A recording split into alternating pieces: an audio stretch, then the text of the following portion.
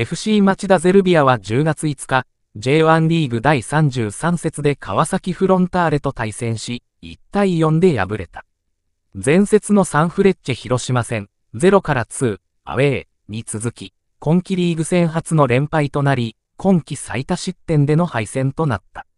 実際の様子、これはあり、町田のベンチ GK がタオルでボールを拭いて渡す決定的瞬間広島との首位攻防戦で敗れ、3位に転落した町田は、ホームに川崎を迎えた一戦で前半13分、フォワード中島祐希の今季リーグ戦初ゴールで先制。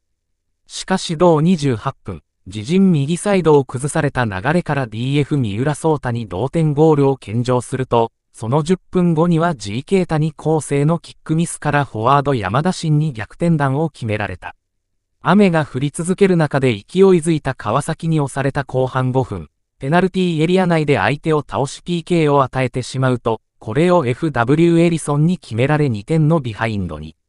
ボールを支配され続けた町田は完全に後手に回り、同26分には三浦のクロスから FW マルシーニョに決定的な4点目を許して、1対4で敗れた。